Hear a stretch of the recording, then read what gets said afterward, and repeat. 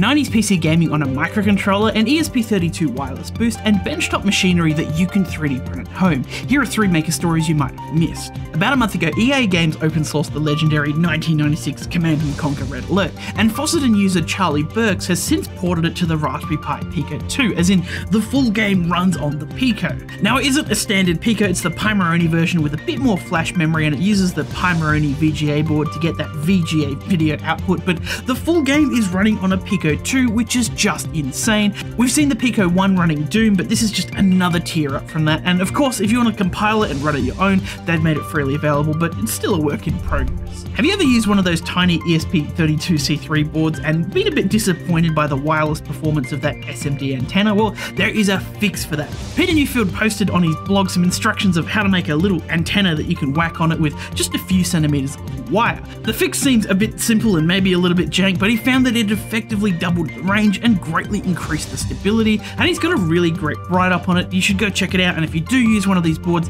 it's definitely worth checking it. And something that's been burning in the background of the 3D printing world is the ability to make your own benchtop machinery. The best example of this is the work by Chris Borge, who has plans that allow you to make CNC mills, lathes, tapping devices, drill presses, magnetic vices, and just a whole bunch of other helpful things around the workshop. He's got this awesome thing going of filling 3D prints with concrete to give them some beef and weight to them. He's got great YouTube videos on it, just check it out. It's amazing work that you can replicate yourself.